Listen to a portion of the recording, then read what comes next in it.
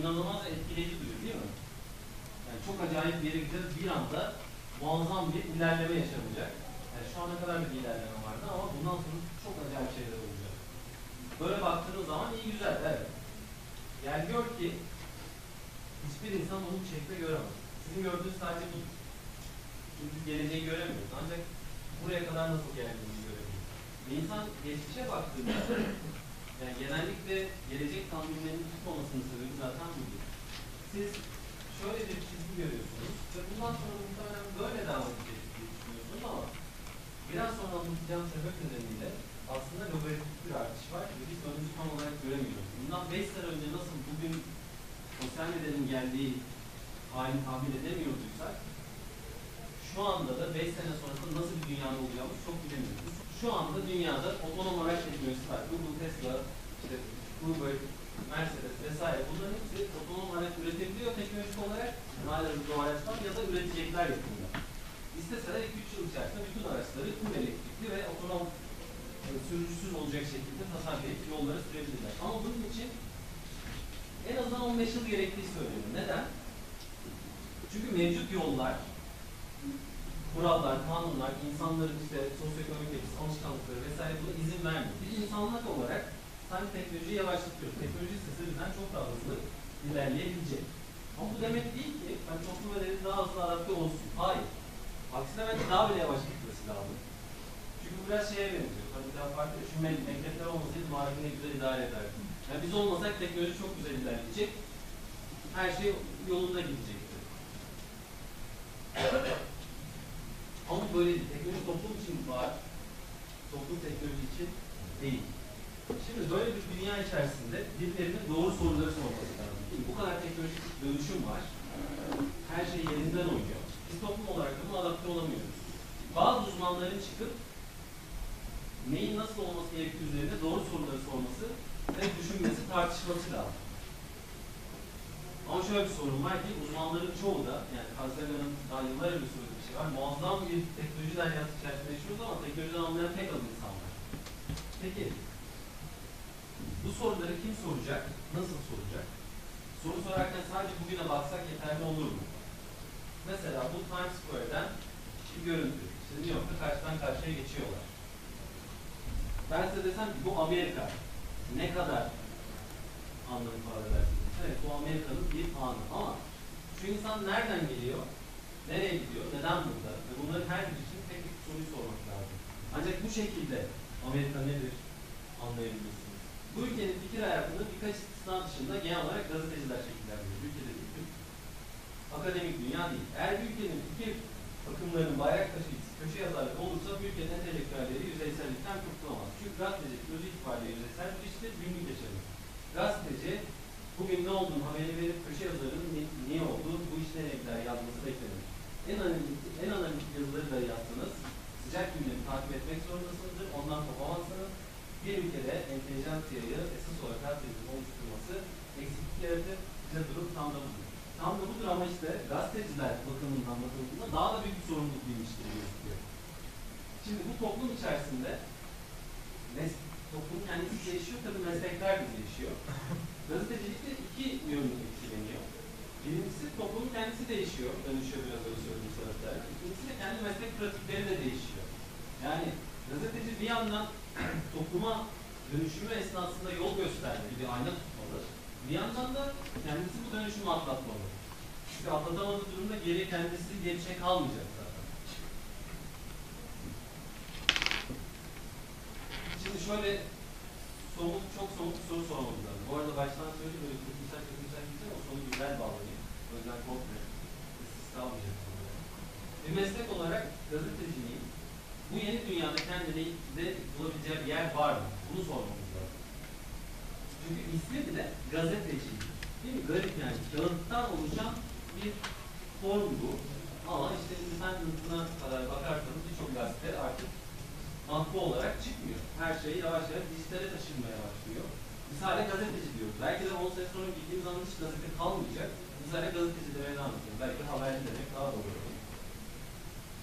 Böyle bir toplumsal yapı içerisindeyiz ki haberlerin ekseriyeti sosyal medyadan alınıyor. İşte Reuters'in dijital dijital habercilik raporunda 2016 Türkiye'de de yüzde 73 yani ellerindeki Zenton'un yüzde 73'ü sosyal medyayı haber için kullandıkları belirtmişler dünyanın en yüksek oranlardan birisi bu. Ekonomik sebeplerden sonra saydığımız bir diğer hususta haberleri botların yapıyor oluşu. Bunun için size robot gazetecilik tabiri kullanılıyor ama biraz yanıltıcı. Robot gazetecilik deyince aklımıza bir robot var oturup haber yazıyor bir şey gelmiyor. Robot değil, bot bunlar. Bot nedir? Belli bir algoritma ile çalışan, önceden tanımlanmış parametreler üzerinde ilerleyen bir otomat. Ama çok gelişkin bir otomat. Bunlar ne yapıyorlar? Robot gazetecilik dediğimiz şey ne? Şu anda ajansların çoğu bu şekilde çalışıyor zaten. Halihazırda dolaşımda olan e, bu veri kalabalığının içerisinden belli algoritmalara göre haberleri seçip derleyip sunuyorlar. Şimdiye kadar bunu insanı yapmak istiyorsunuz. Bir değil birçok insanı yapmak istiyorsunuz. Ve ajansların da zaten esas istihdam kaynağı bu. Tamam. E, bir muhabir göndermek zorundasınız, bir editör olmak zorunda vesaire ama para kademede de o haberleri alıp derleyen ve en son editör onayıyla yayına sokan birisi vardı. Şimdi artık editöre kadar neredeyse ufak ufak bu işin hepsini botlar yapmaya başlıyor dünyada. Türkiye'de de bu aşamaya geliyoruz.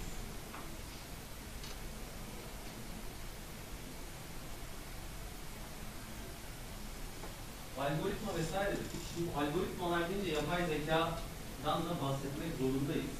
Çünkü bu post endüstriyel toplum dediğimiz şeyin aslı nasıl ki üretimi makinelerle yapmaya başlamıştık. Şimdi komik üretimi yapay zeka ile otomasyona aldığımız bir döneme giriyoruz.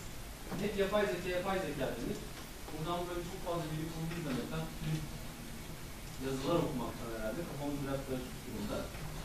Yapay zeka derken tamamen robotları unutmamız lazım. Robot falandan bahsetmiyoruz. Robot sadece yapay zekanın içinde bulunduğu bir mekanik beden. Bir robot falan olmak zorunda değil.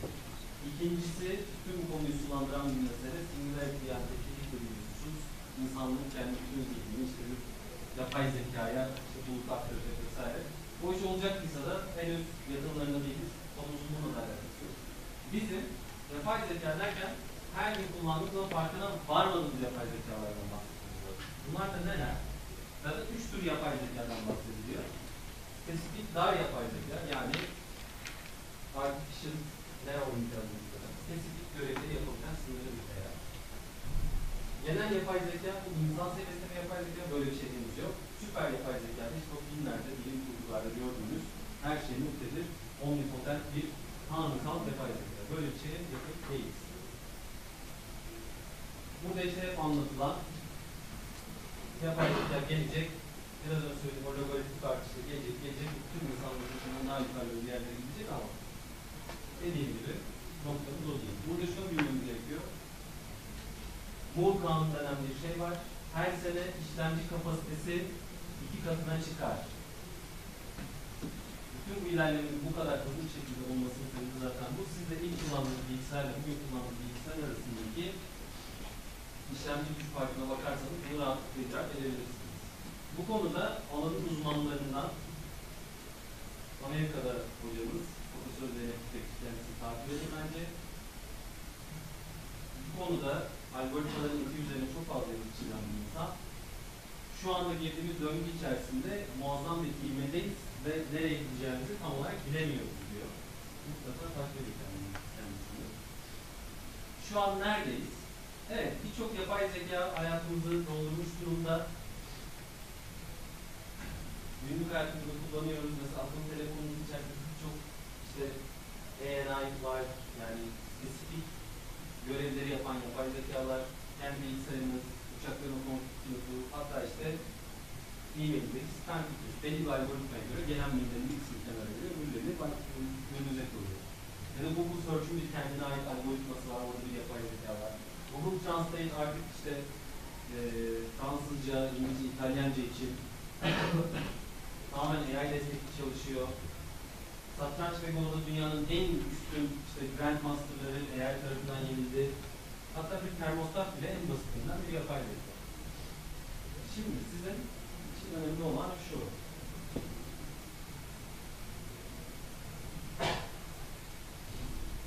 İnsanları destekleyecek olan yapay zekalar şu anda hazır ve mevcut.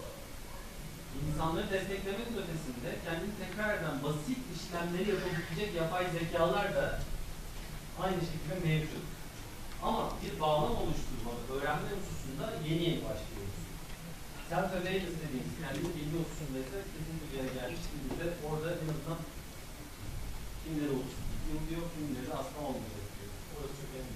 Önemli olan şu.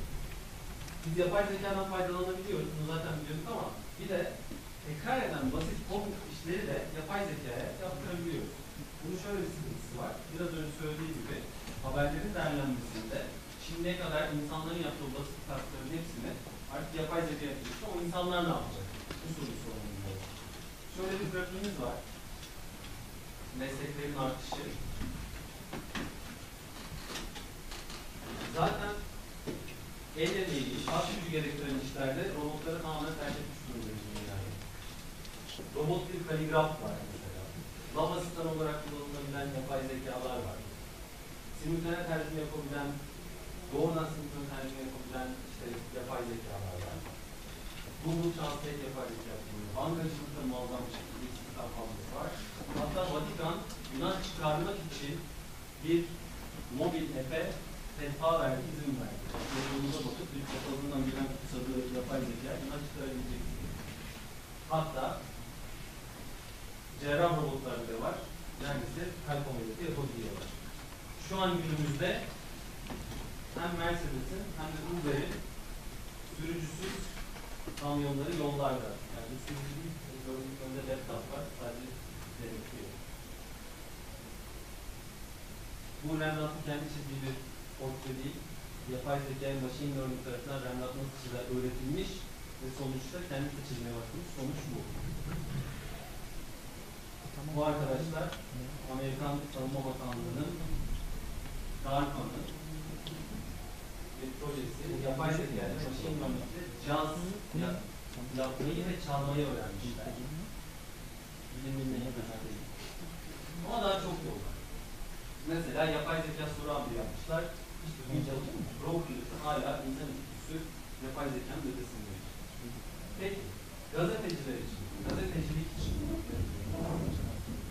Washington Post haberlerini botlarla yapıyor. Twitter'da bütün haberleri derleyen muazzam sayıda bot var ve kim işçisini çıkaracağından, kim çalışanı çıkaracağından bahsediyor. Ama üst düzey gazetecilikte hiç kimse henüz bota işini kaybetmiş değil. Tek kaybedenler otomasyon, tekrarlı, basit kognitif işler yapan gazeteciler. O zaman bizim ne yapmamız lazım? Nasıl çıkarmamız lazım? Yani gönül isterdi ki yapay zeka eğer izlediyseniz Ultron filmi ve Iron Man filmi vardı. Ultron gibi böyle dünyayı ele geçirecek, hepimizin üstüne çıkacak bir şey değil. Iron Man zırhlı büyük bizi destekleyen bir şey olsun. Yani yok ki nereye gittiğini biz bilmiyoruz. Bizim yapabileceğimiz şey şu, kognitif özelliklerimize odaklanmak zorundayız. Yani şimdi nasıl ki İslam pamuk tarlasından bütün pamuk insanların toplaması, daha sonra onu işlemesi için kendisini yapması gerekiyordu. Ama endüstri devrimiyle bütün bu işi makinelere bıraktık. Ve biz bundan sonra moda tasarımcısı, kıyafet tasarımcısı olabildik. Aynısını gün işlerde de yapmamız. Yani sadece al, onu buradan buraya koy, bunu buradan buraya post et olmamak için. Eğer olursa bunu zaten yapabilecek otomatlar, botlar var. Biz bunun ötesine geçmeli ve bütün veri kalabalığına bir anlam kazandırmalıyız. Zaten yeni gazeteciliğin sonunda herhalde böyle bir şey. Bu yeni dijital dünyada gazetecilik nedir? Normalde gazetecilik dediğimizde nedir? Bilgiye gidip gelişip onu kamu yararı için sunmak. Değil mi? Ama şu anda öyle bir dünyada yaşıyoruz ki zaten içimiz dışımız bilgi veri olmuş durumda. Gazetecinin görevi gidip olmayan bir yerden bilgi çıkarmak değil. Zaten hali hazırda var olan bilgiyi anlamlandırmak ve temizlemek. Şimdi bunları açacağız. Bu dijital dünyada gazeteciye üç temel görev düşüyor. Bence ve de böyle. Bir, veri anlamlandırma ve bağlam kazandırma. İkincisi, güvenilir bir enformasyon alanı oluşturmak. Üçüncüsü de algoritmik yapıların sorgulayıcısı olmak. Bunları tek tek üzerinden geçiyoruz. Ama bunu yaparken tabii bir eski üç tane yeni engelimiz var. Eskiden beri olan siyasal baskı bugünümüzde de devam etmekte. Ama yeni sorunlarımız da var. Hız, kirlilik ve prekerleşme. Bunlardan prekerleşme, güvencesizleşme anlamında. Şu anda sanki dünya siyasetinde ve doğru olan dışında her şeyi söyleyebilirsiniz ama sakın doğruyu söylemeyin. Bunun en güzel örnekleri işte ABD'de Trump'ın yani takip etmişsinizdir. Arka yani her şeyi söylüyor. Çamurak bizi kalsın. Birleşik Krallık'ta da Brexit referandum öncesinde yapılan muazzam dezenformasyon propaganda kampanyası. Bundan bahsetmeden önce de şunu bilmek gerekiyor. Biz şimdi Türkçe'de bilgi diyoruz ama bu aslında İngilizce çok güzel editler. Data, information, knowledge.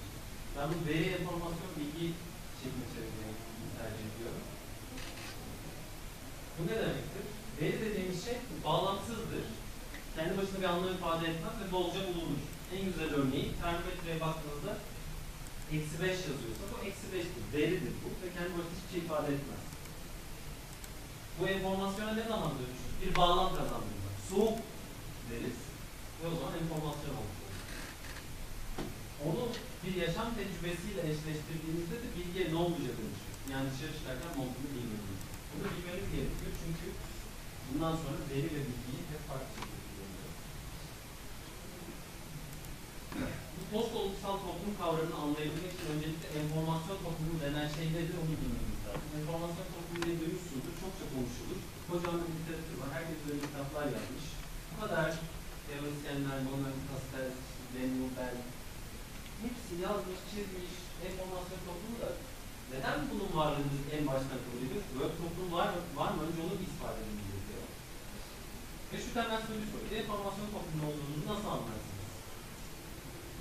Akla ilk gelen şey daha fazla enformasyon. Evet, daha fazla enformasyon var gerçekten. Ama tam olarak hangi noktada enformasyon toplumu diyebileceğimiz kadar enformasyon artmıştır ki? Onun hakkında bir olan var mı? Spekülasyon olan. Bana, bana göre bilgi her zaman vardı. Ancak bu günümüz çağında kişinin bilgiye ulaşılabilirliği çok kolaylaştı. Bir de bu bombardıman araçları direkt mobilize oldu. Elimize kadar ulaştı. Bu sosyal medyalardan da kaçınamıyoruz. Hayatın gel yani bizi bir şekilde içine çekiyor. Bu sayede enformasyon topluluğu da oluşuyor diye düşünüyorum. Evet, dediklerin çoğu doğru ama en son böyle böyle böyle oluyor. O yüzden enformasyon toplumu dediğimiz noktada sıkıntı var. Yine aynı şeye geliyor. Evet, çok fazla enformasyon var. Soru şu, biz ne yapıyoruz bu enformasyonları bize enformasyon toplumu ismi takılabiliyor. Hani gerçekten o kadar her işimiz enformasyona dayalı olarak yapıyoruz. Yani biraz önceki işte verdiğim örneklerde Trump ya da Brexit nasıl? Brexit'te dediler ki biz işte bu e, NHS yani ulusal sağlık sistemi için bu kadar para veriyoruz. Bunun hepsi AB'ye gidiyor dediler. En güçlü argüman da buydu. Ve gerçekten de referandum sonucu çıkmaya karar verdiler. Ve işin fenası o paralar oraya gitmiyor. Daha da fenası Avrupa Birliği'nden İngiltere'ye para geliyor aslında. Gerçek bu değildi ama gerçek ilişkisine insanlar o bilgiyi aldılar, bir karar verdiler. Ama yanlış bilgiyle bir karar verdikleri için saçma sapan bir şey olmuş oldu. Yani biz bu kadar informasyonun içerisinde onu alıyor da anlamlı şekilde kullanıyor gibi gelmiyor bana. Hani bir örneğini düşünecek olursanız bu kadar bilgi kirliliği içerisinde biz çok doğru bilgileniyoruz ama bütün siyasi ekonomik tercihlerimizi veriyoruz acaba? Hayır. İşte orada Webster şunu diyor. Information Society versus Informationized Society. Yani enformasyonlaştırılmış bir toplumdayız. Enformasyon bombardıman altında yaşayan bir toplumdayız ama enformasyonu o kadar içselleştirmiş değiliz. Yani veriden enformasyona bir yere kadar geçiş var ama oradan bildiğimiz no, anlamda knowledge'a, bilgiye bir geçiş yok. Biz veriye bağlamı bir yere kadar katabiliyoruz ama onu pek de içselleştiremiyoruz. İşte bunu birilerinin yapması lazım. En baştan beri söylüyorum ya, teknoloji bize bu imkanları sundu. Bir enformasyon, muazzam bir enformasyon hacmi yarattı. Ama birilerinin bu enformasyonu temizleyip, derleyip, toparlayıp anlam vermesi, anlam kazanması, bağlam kazanması. Şu an eksik olan bu. Ve gerçek anlamda enformasyon toplumundan bahsedilebilecek. Umarım ki. Burada ise görev bize, size düşüyor. Orada tabii şunu da sormak lazım. Hiç olgusal bir toplum olmuş mu? Bir yere kadar olmuştur. Nasıl olmuştur?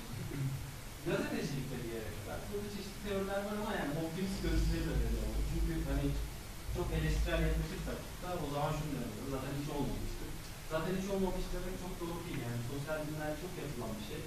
Zaten hiç olmadıysa bundan sonra olmasın. Yani böyle bir muazzam bir ilgili kapılmaya gerek yok. Bir şeyler olmuştur. Bundan sonra olabilir ama farklı bir dünya, farklı pratikler lazım. Gazetecilik tarihi uzunluğunu bilmiyorum ama hani çok kaba hatlarıyla gazetecilik dediğim şey 16. yüzyılda işte ilk kez ilklerinden birisi Oxford Gazette. Hani nedir? Siyasetle ilgili belli başlı duyuruların olduğu gazetelere bakmayın. Bir sayfa, ön sayfası kamera, arkasında reklamlar var. Hala da çıkıyor Oxford Üniversitesi'nde. Bu gazete hala çıkıyor. Ama bildiğimiz formatı 19. yüzyılda kazanıyor. Olgusal gazetecilik dediğimizde yani şu oldu, bu oldu kaygısı güden gazetecilikte ilk kez zaten New York Times'ın bu yanlış 886 Bulvar gazeteciliğinden enformasyon gazeteciliğe geçme kararıyla başladığını biliyoruz. 1920'lerden itibaren de bir nesnellik iddiası bir işin içerisinde. O zamana kadar hep e, o zamana kadar çok doğal kabul edilen bir şey. Herkes belli bir siyasi görüşün doğrultusunda haber yaparken o vakitten sonra nesnellik iddiası çıkıyor içerisinde. Tabii işte bu bahsettiğim o nihilizme biraz kapılmamıza sebep olabilecek eleştiriler hep vardı. Walter Benjamin mesela diyor ki bu olgusal gazetecilik dediğimiz şey zaten kapitalizm ruhuna çok uygundur. Aslında bunun işte hikaye anlatıcılığı şeklinde olması lazım ama şu anda olgusal bir gazetecilik yapılıyor diyor ve biz buradan da işte e, hikaye ideası ve olgu ideası şeklinde iki gazetecilik anlayışıyla karşı karşıya geliyoruz. Şu anda hep olgu ideası üzerinden. Değil zaten bulvar gazeteciliği hikayeleştirme. Onun şu an çok işimiz yok.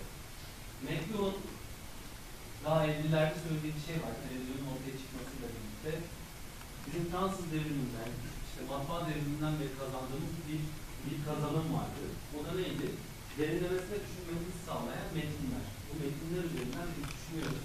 İşte reflection'lar, yani e, eleştirel bir bakış açısıyla yaklaşabilmemizi sağlayacak bir mecraydı bu. Ama ne zaman ki televizyonun bilgiye dayalı bir yayıncılık anlayışı başladı, artık bambaşka bir yere gittik. Ve Neil Postman'ın dediği gibi de, o da bunun en büyük eleştirmenlerinden birisi, e, Informing Ourselves Death diye de bir konuşması vardı. Gidip bakınız. Diyor ki, bizim şu anki medya anlayışımızda tamam her şey veriliyor ama o kadar bağlamsız ki. Önce cinayet haberi izliyorsunuz genelde. Hemen arkasından bir selebritinin işte çocuğu olmuş falan. İlk başta yaşadığınız bir yaşıyorsanız tabii bir şey hissedebiliyorsunuz. Bu hüzün bir anda yerini bambaşka bir duyguya terk ediyor. Ard arda sıralanmış bir kakofoni ve bağlantısızlık. Baudrillard da aynısını söylüyor. Aynısını söylüyor tabii tam olarak ama diyor ki bizim bu gördüğümüz bütün imgeler özellikle işte Irak Savaşı, düşünün. Orada işte güvelerini görüyoruz, uçuşuyor ama için hiçbir şey ifade etmiyor. İmgelerin içerisinde boğulmuş durumda. Böyle eleştiriler hep vardı. Ama işin asıl kritik noktası sosyal medya ve internet, internet devrimi gibi. Şimdi şöyle bir şeyden bahsetmek lazım. Zaman ve mekan ve e, enformasyonun bunun içerisinde hareket edişi. Şimdiye kadar düşünecek olursanız modern öncesi toplumda hatta daha da eskilerde enformasyon bir yerde duruyor ve sizin ona gitmeniz gerekiyor. Bir yerde kütüphane var. Mesela İskenderiye Kütüphanesi, Orta Çağ'da. Sizin ona gitmeniz lazım. Çünkü o kitap orada. Ve Orta Çağ'da kiliselerde işte kocaman inciller zincirle tutulmuş. O kitap dışarı bile çıkamamış. Enformasyon dışarı hareket edemiyor. Ama zamanda bir kalıcılığı var bu enformasyonun. Neden? İşte o kitap hala günümüze kadar geliyor. Ama gündem o kadar hızlı değişiyor ki bugün var yarın yok. İşte mesela şunu düşünün. Facebook'a ilk girdiğiniz o ekranda ne, ne yazıyor? Noter Dün yazardı eskiden. Ee, ne yapıyorsunuz yazardı? Twitter'da da mesela işte ne yazıyor, ne, ne düşünüyorsun gibi bir şey var. Noter Dün. Ve ikisinin de kefil şimdi bir zamandır. Yani şu anda ne yaptığınızı, şu anda ne düşündüğünüzü. Zaten bunların hepsi de anlıktır mecra size sunar ve ondan sonra enformasyon hemen o zamanı terk eder. Mekansal olarak siz durduğunuz yerde durursunuz, enformasyon sizi gelip durur ama zamansal olarak bir kalıcılığı yok.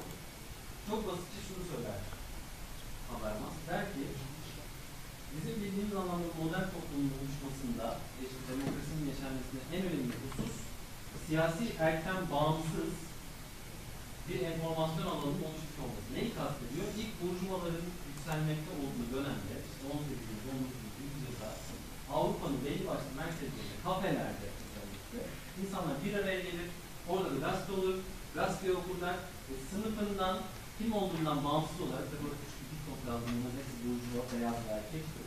Ama hadi onları da bir kenara koyalım. Bir şekilde bu insanlar serbest bir enformasyon ortamındaydılar. Haber nasıl bunun müdahalesiz olması gerekir. Yani bir kapı olmamalı. Sen niye kamu öyle dedin? Denmemesi gerekir.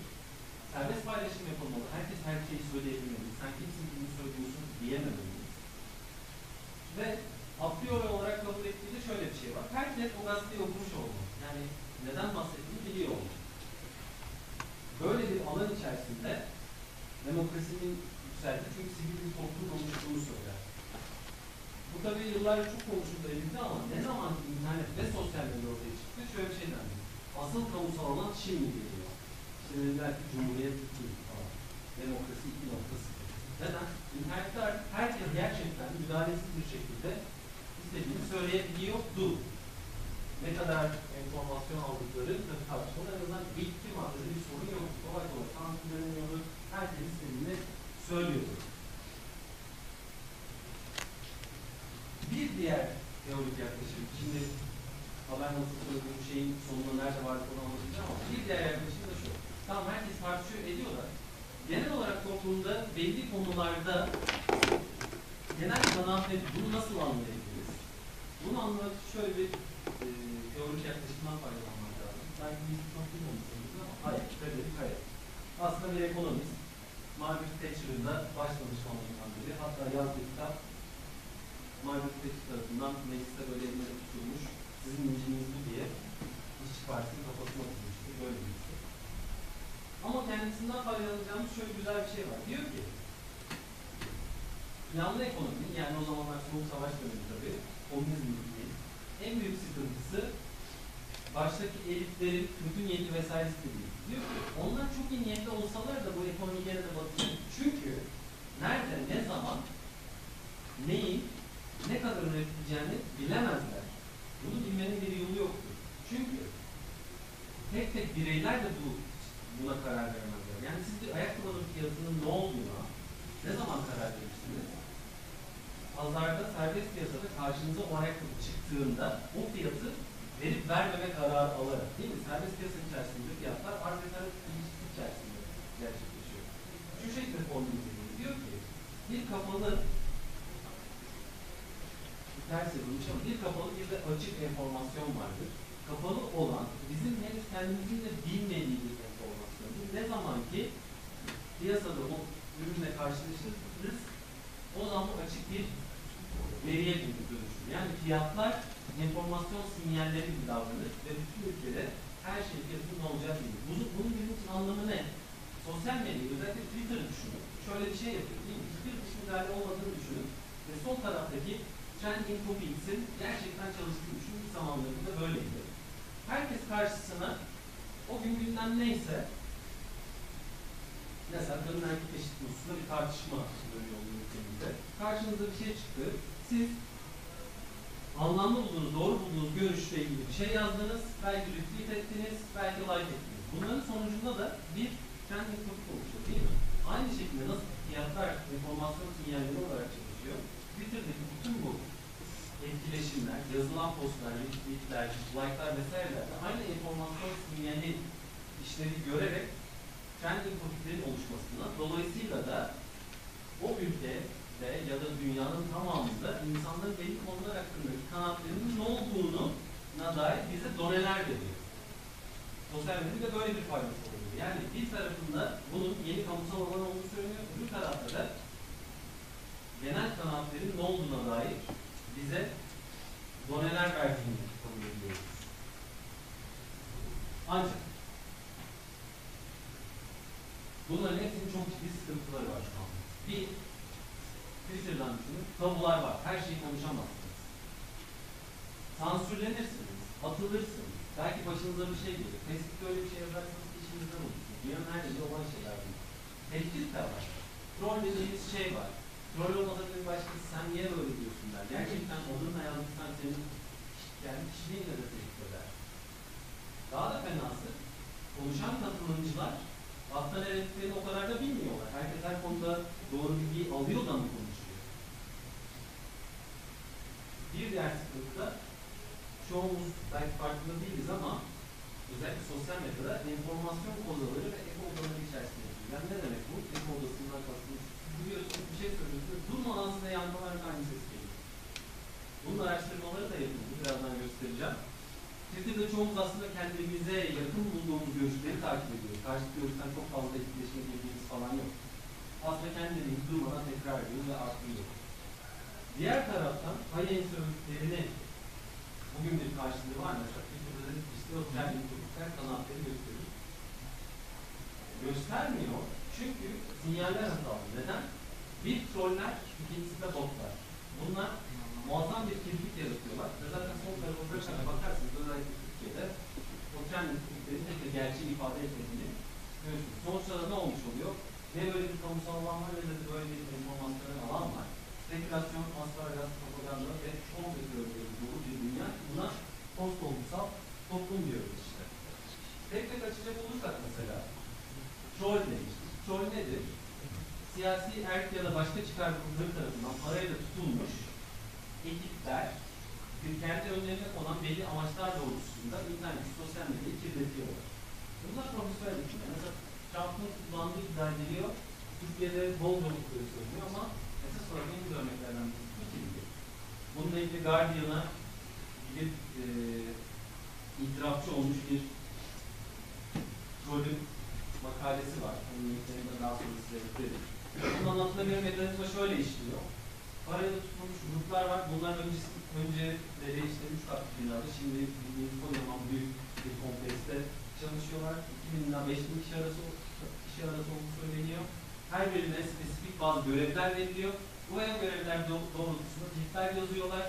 Hatta İngilizce bilenler mesela CNN'de o gün Rusya aleyhine yapılmış bir e, kasıtlı olarak yapılmak zorunda değil ama haber içeriğinde Rusya aleyhine unsurlar olan haberlerin altına gelip yorumlar yazıyor. Hatta güçlü ekipler dahilinde çalışıyorlar. Özellikle Ukrayna meselesinde şöyle yapıyorlar. Önce birisi giriyor. Zaten Ukrayna'da bizim belediye başkanımız ne kadar kötü çöpler de alınmıyor bir şey söylüyor. İki kişi yandan geliyor. Evet haklısın. Hatta bir tanesi de biraz gerçekçi dursun diye. Ya öyle de diyorsunuz ama gibi yorumlar yapıyor. En sonunda o düşüncünün ikna edilmesi de sonuçlanıyor. Küçük kurgular yapıyorlar. Bunlar kanlı canlı insanlar kalıyor. Bir de botlar var.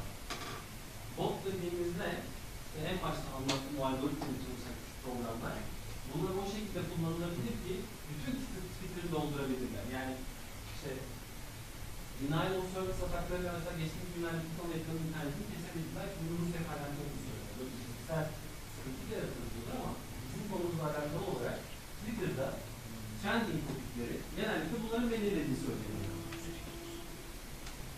Çok inanılmaz bir veri var. Bu bunu da kullandı. Bildiğiniz Norton antivirüs programı. Onun bağlı olduğu kurum yıllık olarak güvenlik raporu yayınlar. Bot kısmında şöyle bir şey görüyoruz. Türkiye şu anda dünyada en çok bot olan dördüncü ülkeymiş. Ve artık hızı olarak da muazzam bir ilerliyor.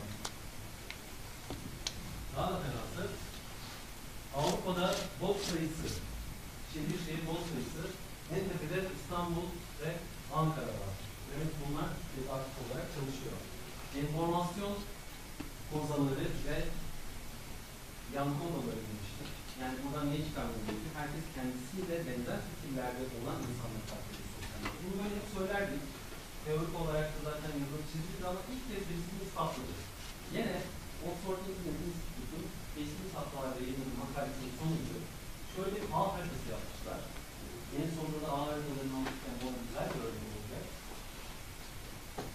Bunlar birbirini takip eden kullanıcı grupları ve bu modellemeyi yapmışlar, bütün veriyi çekmişler, kendini takip ediyor. Daha sonra verinin içerisine girmişler, içerikleri analiz edip her birinin hangi siyasi partiye daha yakın olduğunu Böyle çıkan sonuç şu. Bütün parti taraftarları esas olarak kendi aralarında Bu artık ispatlanmış yönünde.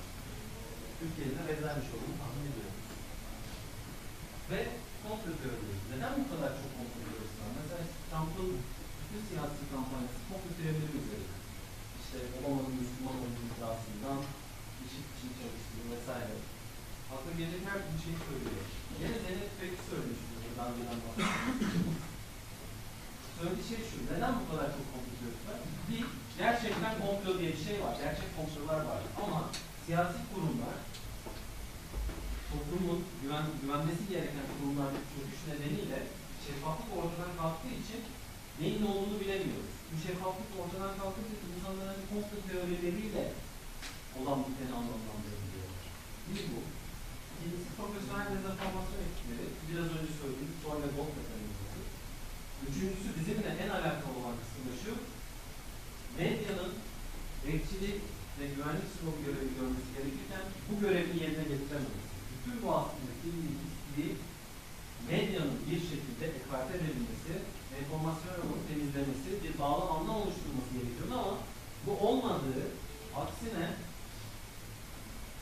medya arz talep döngüsü içerisinde okurlarımız bunu istiyor diyerek clickbaitçiliğin peşinde, tık alma derdiyle, trafik çekme derdiyle çok farklı sularda yelken aldığı için şu anda böyle bir dünyanın içerisindeyiz.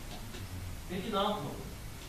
Kurumlar tabi güven tazeliğine şeffaflık ödün vermiyor vesaire. Ama kurumlar için yapabileceğimiz bir şey yok.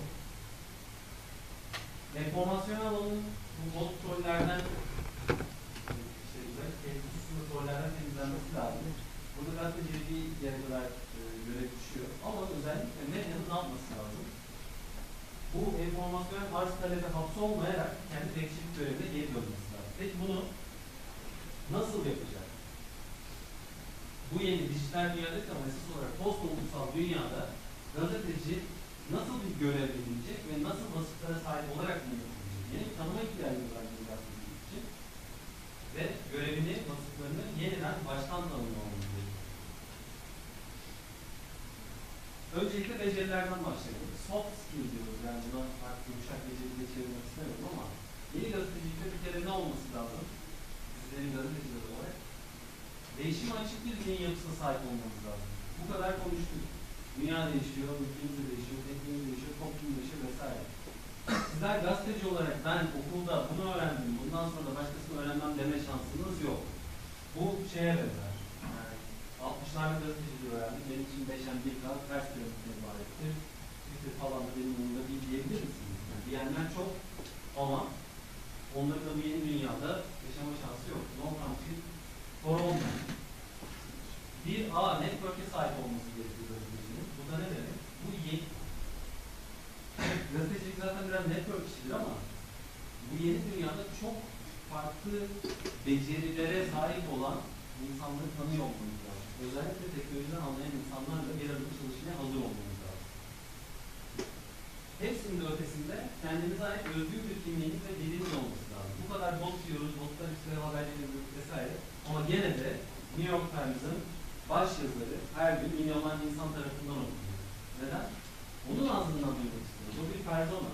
bize güven veriyor. Kendine ait bir dili var vesaire. Kendine ait bir şey var. Olduğu için bu okuyanlara Şimdi bakalım bu insan ne diyor, onu duymak istiyoruz. Bu dile sahip olmayan bir gazetecinin çok da bir şey yapma şansı yok. Peki, hard skills'lere gelecek olursak, yani bunlar esas olarak teknik beceriler.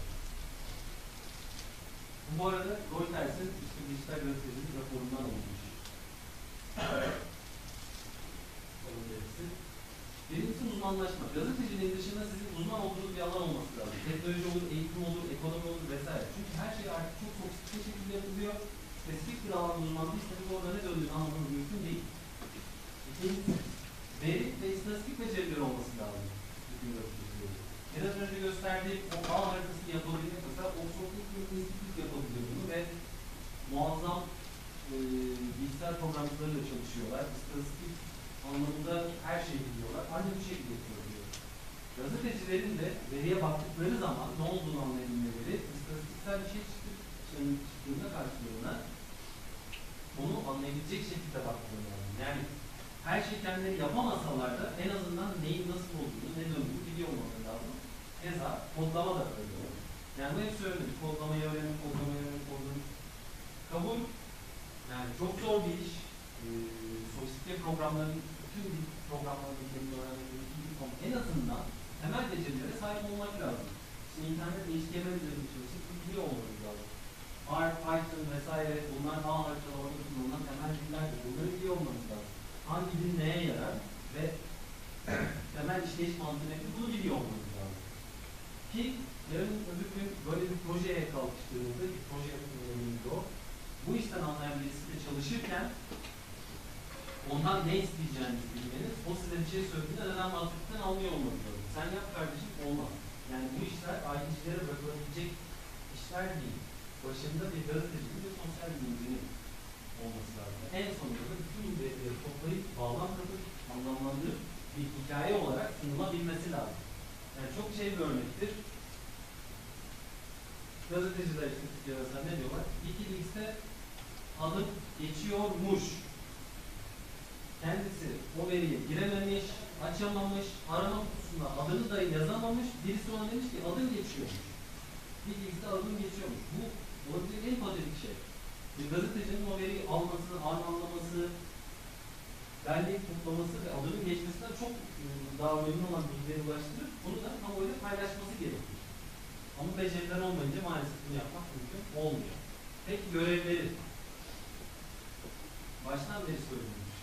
Veriye anlamlandırma, veriyi informasyon seviyesine çekebilmek, anlam, bağlam kazandırma. Bunu nasıl yapacağız? Ağ haritalarıyla görselleştirmeyle. Güvenilir bir enformasyon alanı oluşturmak. Doğrulama, yani tek şekilde.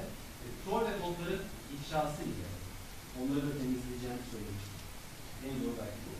Üçüncüsü en sofistik yolunda algoritmik yapıların sorun, sorgulayıcısı olmak. Ne olduğunu açıklamak.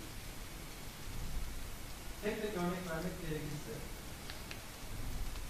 ağ haritaları, bu Türkiye'de yapılmış bir çalışma mesela. Nedir? Türkiye'deki siyasi partilerin, milletvekillerinin Twitter'da birbirlerini takip etmeleri üzerine yapılmış bir ağ. Bunu yaratan ekip çok güzel bir sonuca ulaşmış. Baktığımızda neyi görüyoruz? Dört farklı öbek var. Dört de parti var. Ve bunlar iç içe değil. Bu ne demek oluyor?